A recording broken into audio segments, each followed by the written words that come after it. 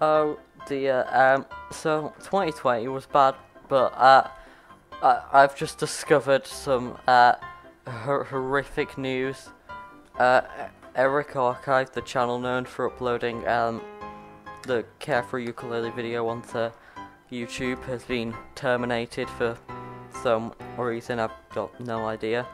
Basically, the way I found this out is I was looking for um, music for Also Craft when I return to my computer to go back to the video. I see, see I see that um, this message that is on your screen right now. The video, whatever, whatever it said. So uh, this is obviously very sad news. Uh, is this the death for the royalty-free music we all know and love? No, no, it's not. It's obviously not. It's it's all online. You didn't get it from the video anywhere. It's all it's all still there. Yeah, there's also other videos of it. But uh, why why did this happen? Why did this happen in the first place? The music was all royalty free.